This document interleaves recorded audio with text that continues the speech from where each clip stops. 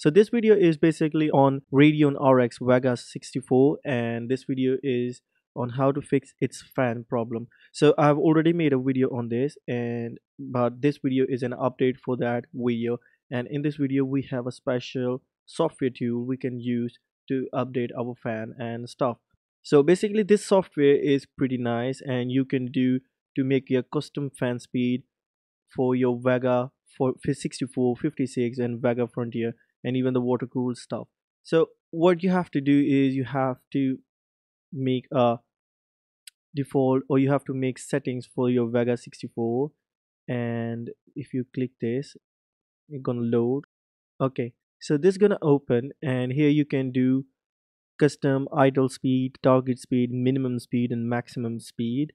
And then you have to select a target temperature at which the speed will boost. So to make it clear and short ideal speed minimum speed maximum speed has nothing to do. And what you can probably do is the minimum speed and the target speed. So let's clear thing for you. Do not mess the upper thing at all. If you really know about what you're doing then you are allowed. Otherwise just leave it. Otherwise if you try to change this and you don't know what you changed the system will not give you display after the restart after you put the kext file into your Clover. So leave the upper thing and then go down here. And there are only two or three basic things which you can do. One is ideal or speed. Then there is the target speed. And then there is a target temperature. The target temperature is basically at which your fan will start to increase its speed. And the target speed is basically uh, the maximum speed your system or your the fan of the, Vega CPU will go if the target temperature is exceeded. So if you have a target temperature of 70 and if the system goes to 17, 71, your fan, your uh, graphic card fan will start to speed up till your target speed. And then there is a minimum speed and ideal speed. I don't know if it's minimum or ideal speed but you can lower both of them. For your normal day-to-day -day usage you can just lower the ideal speed to like the minimum speed your fan your gpu fan gonna go is around 680 so it's gonna go to 680 nothing below whatever minimum value you put.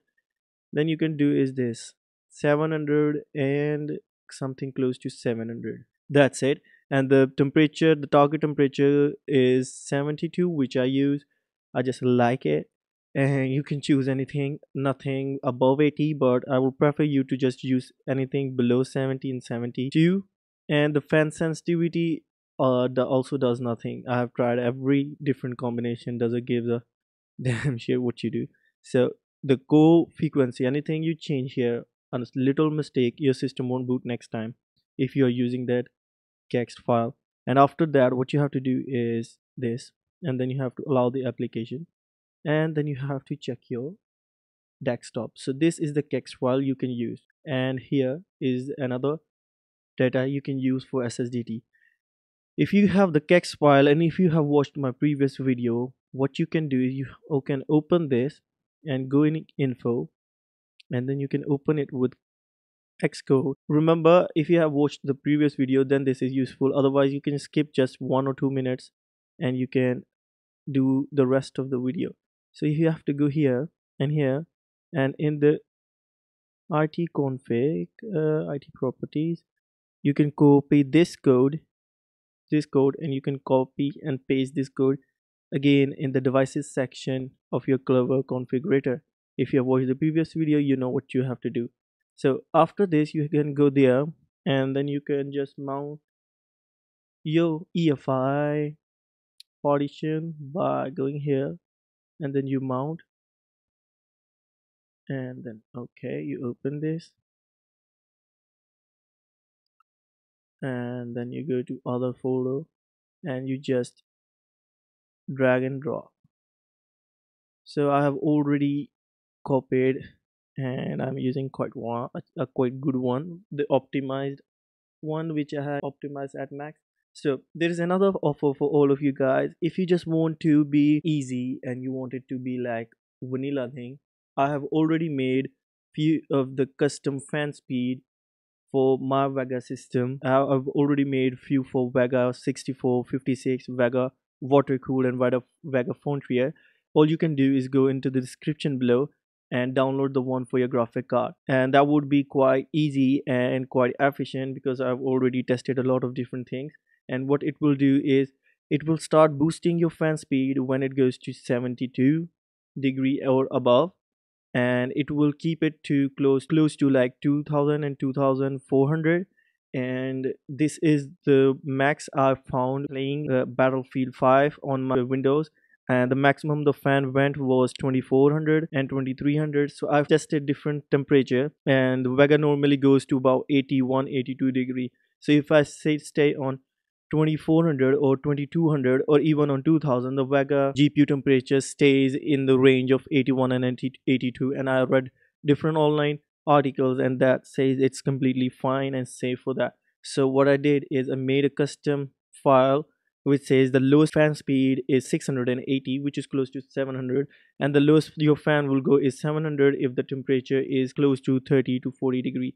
And it will gonna start boosting after 60 to 70 and then it gonna go to a max of 2400 and it will be really really nice and it won't be audible at all. Fan speed of 2000 so if you're even playing a game without a headphone it won't be a pain for you. That's what you can do and it will be really helpful for the graphics rendering because it's not going to make any noise and it's not going to damage your graphics card. So that's it.